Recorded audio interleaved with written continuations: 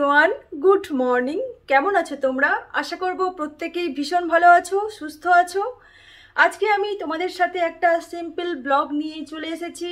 আজকে আমি এই ব্লগে অনেক কিছু শেয়ার করব। তো ব্লগটা লাস্ট পর্যন্ত চেক করতে থাকো। আশা করব তোমাদের ভালো লাগবে। আর এখন আমি ব্রেকফাস্ট করব। তো ব্রেকফাস্টে আমি আজকে বানিয়েছি সাবুদানার খিচুড়ি। তো এই রেসিপিটা তোমাদের সাথে অন্য একদিন অবশ্যই শেয়ার করে দেব। তো চলো, আমি এখন ব্রেকফাস্ট করে নিই। ব্রেকফাস্ট করার পরে তোমাদের সাথে কথা হচ্ছে।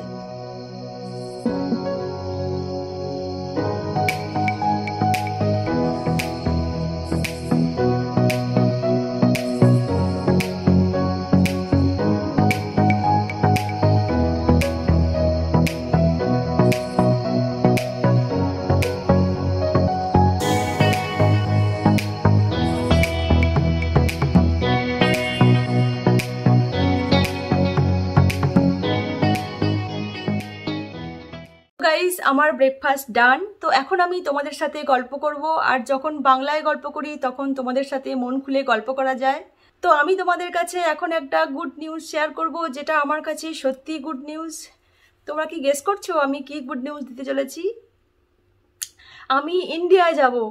তো এটা আমার কাছে সত্যি গুড নিউজ কারণ দু হাজার উনিশ সালে লাস্ট দুর্গাপুজোয় আমি ইন্ডিয়া গিয়েছিলাম। তো তারপর থেকে এক বছরের উপর হয়ে গেল আমি ইন্ডিয়া যাইনি। তো এখন ভাবছি আমি ইন্ডিয়া যাব। তো আরেকটা যেটা ব্যাপার, সেটা হচ্ছে শুনছি নাকি ডিসেম্বরের মধ্যেই ভ্যাকসিন মার্কেটে চলে আসবে। আমি জানি আমার মতন তোমরা সবাই ভ্যাকসিনের জন্য অধীর আগ্রহে ওয়েট করে আছো। তো ভ্যাকসিন যখন মার্কেটে এসে যাবে, তখন প্রত্যেকটা মানুষ একটা স্বস্তির নিঃশ্বাস ফেলবে। তো দু হাজার কুড়ি সালটা যেভাবে কাটলো, সেটা প্রত্যেকের কাছে একটা দুঃস্বপ্নের মতন আমার মনে হয়। কারণ আমরা কখনোই ভাবতেই পারিনি যে এরকম একটা সিচুয়েশন আমাদের দেখতে হবে। তো এই ব্যাপারটা আস্তে আস্তে আমাদের মন থেকে মুছে ফেলতে হবে আর সামনের দিকে এগিয়ে যেতে হবে। খুব ভালো একটা পজিটিভ থিঙ্ক নিয়ে এগিয়ে যেতে হবে। তো এইভাবেই চলতে হবে, কিছু করার নেই, পরিস্থিতির শিকার আমরা। তো এটাই ব্যাপার। আর যদি ভ্যাকসিন এসে যায়, তাহলে আমি ভ্যাকসিনটা নিয়েই ইন্ডিয়া ভালোভাবে যেতে পারব। তো ওয়েট করে আছি, যদি ডিসেম্বরে ভ্যাকসিন এসে যায়, তাহলে সত্যি ভীষণ ভালো হয়। আর এটা তোমাদের কাছে শেয়ার করতে পেরে আমার ভীষণ ভালো লাগছে, কারণ দেখবে যখন কোনো দুঃখের ঘটনা আমরা কারোর সাথে শেয়ার করি, যেমন দুঃখটা কমে, তেমনি আনন্দের ঘটনা যখন শেয়ার করি, তখন আনন্দটা দেখবে দ্বিগুণ হয়ে যায়। আর যখন ইন্ডিয়া যাব, তখন আমার চ্যানেলে তোমরা অনেক ইন্টারেস্টিং ব্লগ দেখতে পাবে। এই সময় ইন্ডিয়া যাওয়ার পিছনেও আরেকটা কারণ আছে, যেটা আমার কাছে একটা ভীষণ আনন্দের খবর। তো এই খবরটা আমি তোমাদের কাছে এখন সারপ্রাইজ রাখলাম। তোমরা পরপর আমার ভিডিওতে দেখতে পাবে যে কি ঘটনার জন্য আমি ইন্ডিয়া যাচ্ছি। তো তার জন্য আমার চ্যানেলটাকে সাবস্ক্রাইব করতে হবে। আর সাবস্ক্রাইব করার পরে নোটিফিকেশন আর আইকনটাও ক্লিক করতে হবে, যাতে আমার সমস্ত ভিডিও নোটিফিকেশান তোমাদের কাছে পৌঁছে যায়। তো এটাই বলার ছিল। যারা প্রথমবার আমার চ্যানেলটাকে দেখছ, তারা অবশ্যই চ্যানেলটা সাবস্ক্রাইব না করে যেন যেও না। সাবস্ক্রাইব করো। আর সাবস্ক্রাইব করার পরে বেল আইকনটাও ক্লিক করো। আর এটা সম্পূর্ণ ফ্রি। অনেক ভালো ভালো ব্লগ ওয়েট করছে তোমাদের জন্য। তো চলো ব্লগগুলো চেক করতে থাকো। আর হ্যাঁ আর একটা জিনিস তোমাদেরকে আমি দেখাবো, যেটা আমি অনেকদিন থেকেই ভাবছিলাম দেখাবো, বাট হয়ে উঠছিল না। তো চলো আজকে দেখাই।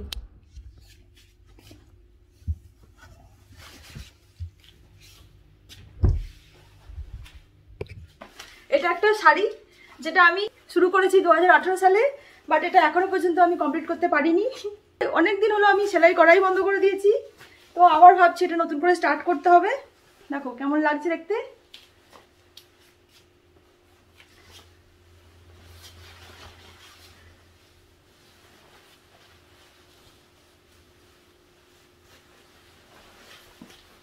এটা একটা কাঁথা স্টিচের শাড়ি, যেটা আমি দু হাজার আঠারো সাল থেকে শুরু করেছি। তো প্রথম ভেবেছিলাম দু হাজার উনিশ সালের দুর্গাপুজোতে আমি এটা করব। দু হাজার উনিশ সাল কেটে গেল। দু তারপর ভাবলাম দু হাজার কুড়িতে আমি এটা অবশ্যই পরব দু হাজার কুড়িও কেটে গেল। দু হাজার কুড়ির দুর্গাপুজো যেভাবে কাটলো, তো এখন আমার এতটা মন খারাপ হচ্ছে না। কারণ পুজোতে যেতেই পারলাম না, তো এই শাড়িটা হয়নি, ভালোই হয়েছে একদিকে। তো দু হাজার একুশ সালেই আমি এটা পরবো ঠিক করেছি। দেখা যাক, তার আগে আমি তৈরি করতে পারি কি না তো এখন কিছুটা বাকি আছে। কিছুটা মানে বেশ অনেকটাই বাকি আছে, কারণ এখন আঁচলের দিকটা আমি শুরু করেছি জাস্ট তো আঁচলটা পুরোটা কাজ আছে। অনেক দিন থেকে আমার শখ ছিল যে আমি একটা শাড়ি নিজের হাতে তৈরি করব, কারণ আমার এই সেলাই করতে ভীষণ ভালো লাগে, কাঁথা স্টিচের। তো এগুলো দোকানে কিনতে গেলে তো অনেক খরচ হয়ে যায়। তাই ভাবলাম নিজে বাড়িতে বানিয়ে দেখা যাক কেমন হয়। তো তোমাদের সাথে শেয়ার করলাম, ভাবলাম, অনেকদিন থেকে ভাবছিলাম তোমাদের সাথে শেয়ার করব বাট মনে থাকছিল না। তাই ভাবলাম তোমাদের সাথে শেয়ার করি। তো তোমরা অবশ্যই জানাবে তোমাদের এই কাজটা কেমন লাগল। তো এখন মাঝে মাঝে আমি এটা সেলাই করব আর ইন্ডিয়াতেও আমি নিয়ে যাব এটা। কারণ ওখানেও যদি আমি টাইম পাই, যতটা টাইম পাই, ততটা টাইমেই আমি চেষ্টা করব এটা কভার করার। তো কমপ্লিট করার চেষ্টা করব এবার, কারণ অনেক দিন হয়ে গেল এটা আর ভালো লাগছে না। দু হাজার আঠেরো সাল থেকে যেটা আমি টানছি, তো আর ভালো লাগছে না। এবার আমাকে এটা ফিনিশ করতেই হবে। আর দু হাজার একুশ সালে আমাকে এটা পড়তেই হবে।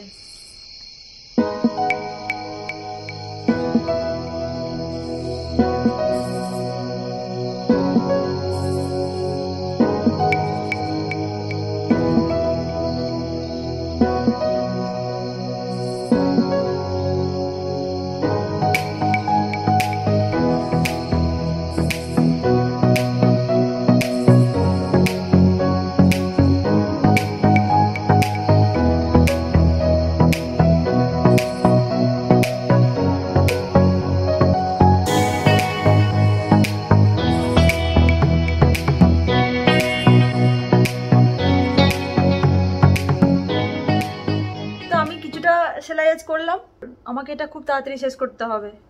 আলমারিতে পরে রাখলে আর চলবে না, অনেক লেট হয়ে গেছে। এটাকে আমি চোখের সামনে রাখব, কারণ যখনই ফ্রি টাইম পাবো, আমি এটা একটু করে সেলাই করব। আর এটা শেষ হলে আমার ইচ্ছা আছে একটা হাজব্যান্ডের একটা পাঞ্জাবিতে ওয়ার্ক করার, দেখা যাক কি হয়। তো এখন টাইম হয়ে গেছে সাড়ে দশটা। এখন আমাকে ঘরের রান্না টান্না চান টান করে রান্না টান্না করতে হবে। তো সেলাই আপাতত এখন বন্ধ। তোমাদের সাথে দেখা হচ্ছে ব্রেক কে বাদ। সো গাইজ আমি আবার চলে এসেছি তোমাদের সামনে। এখন বাজে দুটো, তো ভাবলাম লাঞ্চ করার পরে তোমাদের সাথে কথা বলব বাট তার আগেই আমি এলাম কারণ আমি এখন ভেজ বিরিয়ানি বানাবো। কি বলতো, ঘরে সবজি টবজি বেশিরভাগই সব শেষ হয়ে গেছে, আর একমাত্র ফুলকপি আছে, আলু আছে। তো তাই ভাবলাম কি বানানো যায়, কি বানানো যায় করে ভাবলাম। তো তাই ভাবলাম যে পনির আছে আর বিনস গাজর মটর এগুলো সব ফ্রোজেন ছিল। তাই ভাবলাম যে একটা খুব অল্প সময়ে একটা সহজভাবে নর্মাল একটা বিরি- বিরিয়ানি ভেজ বিরিয়ানি তৈরি করে নিই। আর আমাকে আজকে হয়তো মনে হচ্ছে যে আমি খুব সেজেছি হয়তো কোথাও যাচ্ছি, মোটেই নয়, আমি বাড়িতেই আছি এবং এই কুর্তিটা যেটা দেখছ, এই কুর্তিটা আমি তিন বছর পর আমি পরলাম আজকে। তাই আমার খুব মজা হচ্ছে, কারণ তিন বছর আগে আমি এটা পরেছি লাস্ট তাই ভাবলাম এখানে ছিল কুর্তিটা, নিয়ে এসেছিলাম পরবো বলেই বাট পরা হয়নি। তো আজ ভাবলাম পরি, কেমন লাগে দেখি। তাই মনে হলো যে এর সাথে ম্যাচিং করে এই কানেরটা পরলে ভালো লাগছে, তাই পরে নিয়েছি। তো এই ব্যাপার। তো চলো রান্নাটা স্টার্ট করি। দুটো অলরেডি বেজে গেছে, আমার খুব খিদে পেয়ে গেছে। তো চলো এবার স্টার্ট করেছি তো আমি গ্যাস অন করে দিয়েছি, এখন আমি তেল দেবো।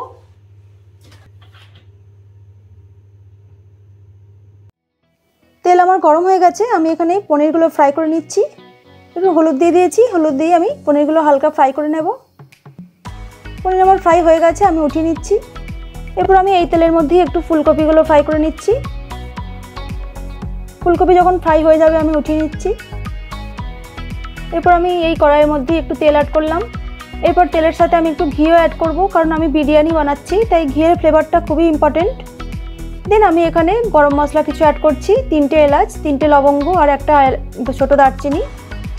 যখন হালকা ফ্রাই হয়ে যাবে, আমি এখানে ওয়ান টিস্পুন জিরে অ্যাড করলাম। এরপর আমি রসুন অ্যাড করে দিয়েছি। রসুনগুলো হালকা ফ্রাই করে নেব দেন পেঁয়াজটা অ্যাড করে দিলাম। পেঁয়াজগুলো একটু হালকা ফ্রাই করে নেব। ব্রাউন কালার যখন হয়ে যাবে, তখন আমি বাকি মশলাগুলো অ্যাড করব। দেখো, পেঁয়াজগুলো আমার ফ্রাই হয়ে গেছে। এখন আমি ওয়ান টিস্পুন ধনে গুঁড়ো ওয়ান টিস্পুন জিরে গুঁড়ো। আর হাফ টিস্পুন হলুদ অ্যাড করলাম।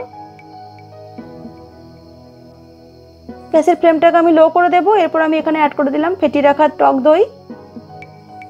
অবশ্যই তোমরা গ্যাসটা অন একদম লো করে দেবে যখন টক দই অ্যাড করবে। এরপর আমি সবজিগুলো অ্যাড করে দিচ্ছি। প্রথমে ফ্রোজেন সবজিগুলো অ্যাড করলাম, কারণ ফ্রোজেন অলরেডি আমার সেদ্ধ করাই থাকে, তাই আমি আগে থেকে ফ্রাই করে নিই এরপর আমি ভেজে রাখা পনির অ্যান্ড ফুলকপিটা অ্যাড করে দিয়েছি। এরপর আমি এখানে অ্যাড করছি স্বাদ অনুযায়ী সল্ট অ্যাড করে দিলাম কোচানো ধনে পাতা। দেন আমি একটু রেড চিলি পাউডারও অ্যাড করেছি। এবার হালকা ফ্রাই করে নেব। এরপর আমি অ্যাড করছি একটু চিনি। দই দিয়েছি যেহেতু, তাই ব্যালেন্সটা খুবই দরকার, তাই চিনি দিলাম একটু হাফ টিস্পুন দেন আমি এখানে অ্যাড করে দিলাম সানের বিরিয়ানি মশলা। সানের বিরিয়ানি মশলা ভীষণ টেস্টি হয়, তাই এটা আমি অ্যাড করেছি। দেন হালকা ফ্রাই করে নেব। তো এরপর আমি এখানে রাইসগুলো অ্যাড করে দেবো। রাইস আমি আগে থেকে করে রেখেছিলাম। রাইসগুলো খুব কেয়ারফুলি নাড়তে হবে, কারণ যেন ভেঙে না যায়, সেদিকটা খেয়াল রাখতে হবে। সবজিগুলোর সাথে আমি হালকাভাবে মিক্স করে নিচ্ছি। তো আমার বিরিয়ানি প্রায় শেষের দিকে, এখন আমি যেগুলো দমে বসানোর আগে যা যা দিতে হয় আমি সেগুলো অ্যাড করব। এরপর আমি এখানে নুন অ্যাড করে দেবো, কারণ আমি রাইসে নুন দিইনি, তাই নুনটা আর একটু দরকার, তাই নুন অ্যাড করলাম। আর অ্যাড করলাম একটু দুধের সাথে আমি হালকা একটু ফুড কালার মিক্স করে নিয়েছিলাম, দিয়ে আমি অ্যাড করে দিয়েছি। তোমরা চাইলে ফুড কালারটা অ্যাভয়েড করে এখানে কেশরও অ্যাড করতে পারো। এরপর আমি উপর থেকে একটু বিরিয়ানি মশলা আর একটু অ্যাড করলাম। আর অ্যাড করব কেওড়া ওয়াটার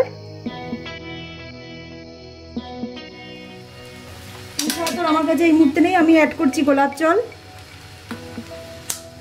জাস্ট ওয়ান টিস্পুন গোলাপ জল অ্যাড করলাম। আর আমি যখন টেস্ট করেছিলাম, একটু ঝাল কম লেগেছিল আমার, তাই আমি আরেকটু লঙ্কা গুঁড়ো অ্যাড করলাম। ঘি, আর একটু ঘি অ্যাড করব উপর থেকে। উপর থেকে একটু ধনে পাতা ছড়িয়ে দেবো। এই যা, আমি আদাটা অ্যাড করতে ভুলে গেছি। ও মাই গড কিন্তু আমি আদাটা অ্যাড করতে ভুলে গেছি, তাড়াহুড়ো করে এত জোরে খিদে পেয়ে গেছে। যে আমি আদাটাই অ্যাড করতে ভুলে গেলাম।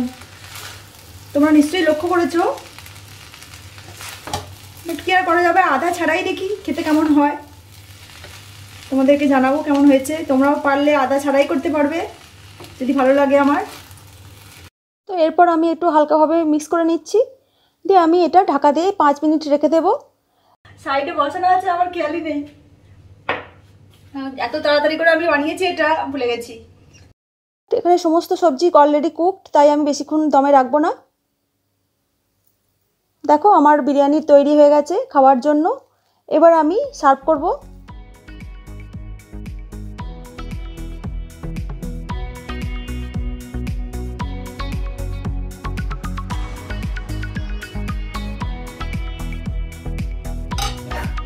তো এটা আমাদের রাত্রেও হয়ে যাবে।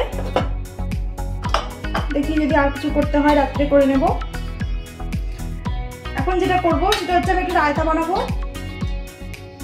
এই রায়তাটা আমি একটু অন্যরকম বানাবো। আমি এখানে অ্যাড করব লবণ। লবণ বলে যেটা? তো লবণ অ্যাড করব। দুধ অ্যাড করব। Salted fried boondi. Salted fried boondi. তো এইটা রায়তার সাথে এত সুন্দর খেতে লাগে। ঠান্ডা ঠান্ডা রায়তার সাথে এটা খেতে জাস্ট অসাম লাগে। তো তোমাদেরকে দেখাচ্ছি, আমি কীভাবে বানাচ্ছি। তো এখন রায়তা তৈরি করা যাক, একটা বোল নিয়েছি। বোলের মধ্যে আমি লবণ অ্যাড করছি।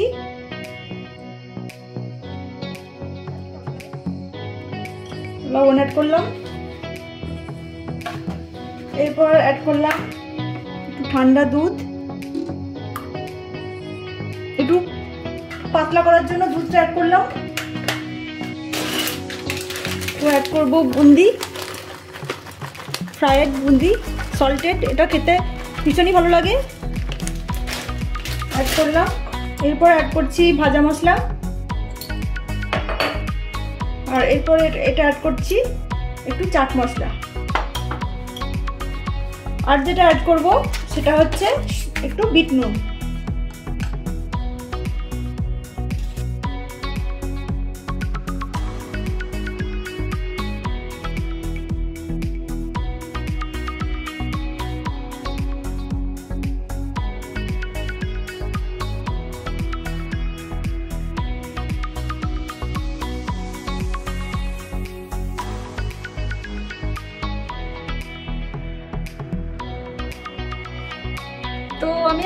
খাব তোমাদেরকে বলছি কেমন হয়েছে।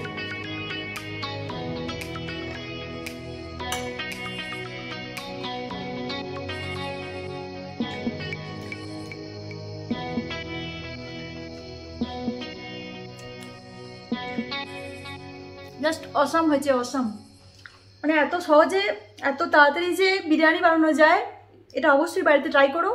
আর ট্রাই করে কেমন হয়েছে আমাকে জানিও। আমি আশা করব তোমাদের ভালো লাগবে। ঠান্ডা ঠান্ডা রায়তার সাথে বিরিয়ানিটা জাস্ট ফাটাফাটি হয়েছে।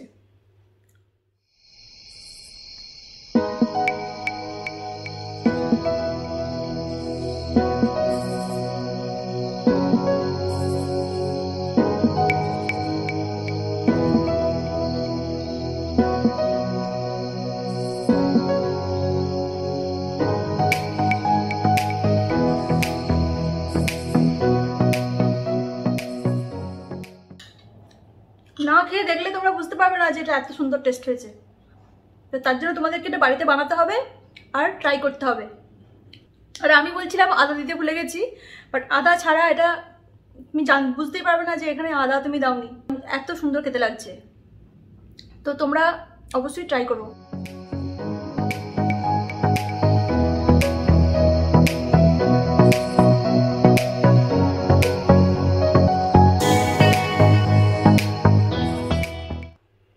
এখন চারটে বেজে গেছে, তো এখন ভাবছি একটু নিচে যাব, নিচে গিয়ে একটু পায়চালি করব। কারণ আমি এতদিন ধরে তোমাদের সাথে ব্লগ করছি, নিচের জায়গাটা কেমন তোমাদেরকে সেভাবে কখনোই দেখানো হয়নি। যখন কোথাও বেরিয়েছি, বেরোনোর মুহূর্তে তোমরা বেরোনোর সময় তোমরা যেটুকু দেখেছ। গ্রীষ্মকালে এখানে ন চট করে কেউ সেরকম বেরোয় না বাড়ি থেকে। কারণ গরমের প্রচণ্ড তাপ থাকে এখানে, তো সে কারণে দিনের দিকে গ্রীষ্মকালে খুব একটা কম বেরোনো হয় না। তো এখন ওয়েদার এত সুন্দর হয়ে গেছে, তাই এখন ভাবলাম একটু নিচেটা যাই আর পায়চালি করি। তো আমি দু চার দিন হলো পায়চালি করছি নিচেটা, বিকালটা। তাই ভাবলাম তোমাদের সাথেও আজকে শেয়ার করি আর তোমাদেরকেও আজকে নিয়ে যাই। তো চলো আমার সাথে।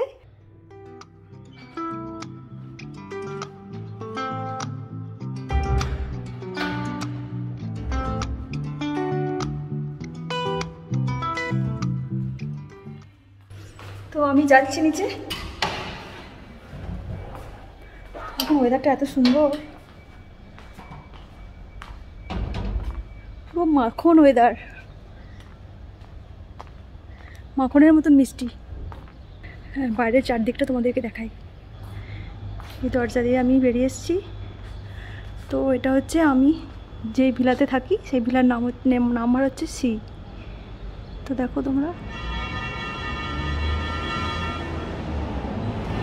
রাস্তা দিয়ে গাড়ি যাচ্ছে, তাই আওয়াজ হচ্ছে। এটা হচ্ছে ডি সেম বিল্ডিং আমি থাকি সিতে এটা হচ্ছে গেট দেখো এখানে চারদিকে কাগজ ফুল। আর গেটের বাইরে এদিকে গাড়ি থাকে।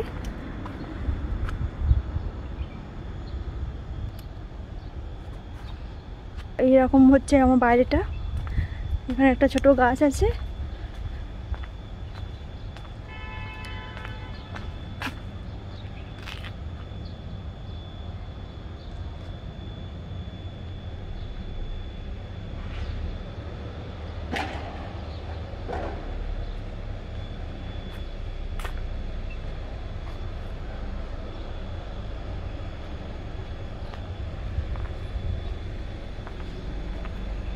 এটা হচ্ছে বিলা বি আর এটা হচ্ছে এ।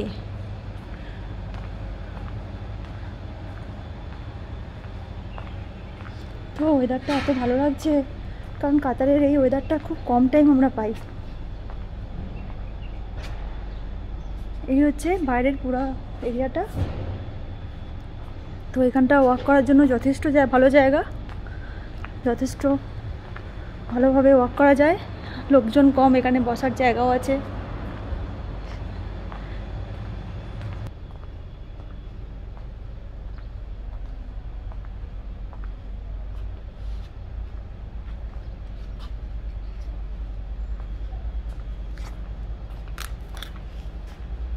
তো এই হচ্ছে এখানের এরিয়াটা। কেমন লাগল তোমাদের? ওয়েদারটা দুর্দান্ত। দুর্দান্ত সুন্দর ওয়েদার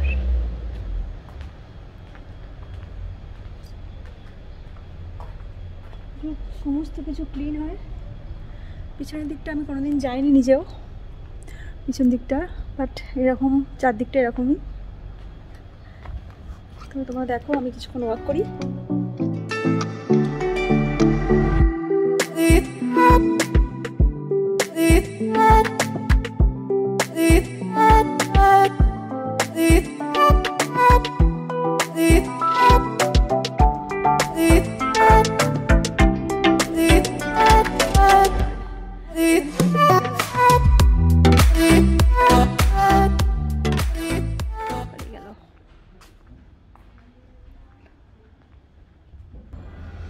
অশ্বত্থ পাতা আমি একদিন হাঁটতে হাঁটতেই দেখেছিলাম।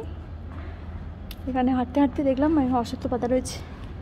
তাই ভাবলাম এটা দিয়ে সুন্দর একটা ডিজাইন বানানো যাবে। তো ট্রাই করা যাক। দেন আমি ট্রাই করেছিলাম। আমার কুর্তির কালারের হয়ে গেছে সব। ম্যাচ করে জুতো হয়ে গেছে, জুতো ম্যাচিং আমার কানের ফুলটাও দেখছি, আমার ম্যাচে হয়ে গেছে।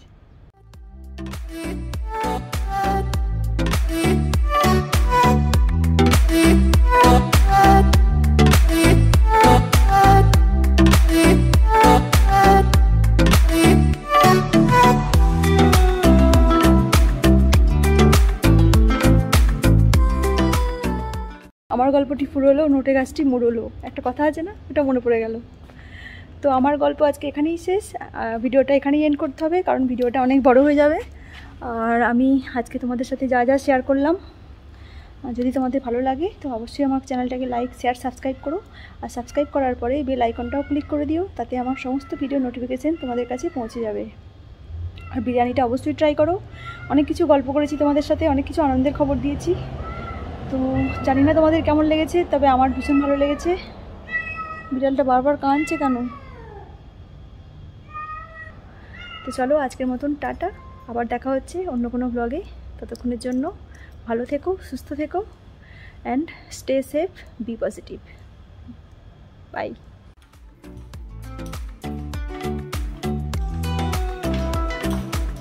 তো আমি উপরে উঠে এসেছি। এখন কী করব? টিভি দেখব। হাজব্যান্ড এলে চা করব।